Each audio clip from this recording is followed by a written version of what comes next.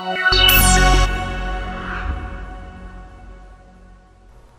PADS, it is very easy to see graphical feedback when you deal with components that have nets with length restriction rules. If you move a component that has length controlled nets, you will notice in the navigation window that connection lines attached to component are shown in yellow color because length had not reached the minimum length limit.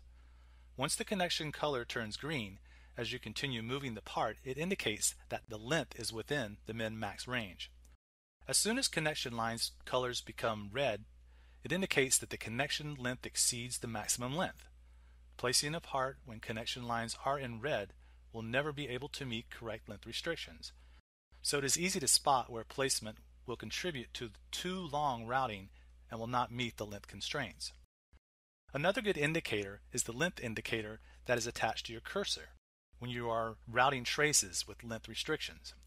As you start interactively routing the differential pair, the length indicator shows routed and estimated lengths, as in also color coded with yellow, green, or red. The length monitor in spreadsheet view also is updated dynamically as you route traces and will change color from yellow to green and to red if a violation of the maximum length will be present.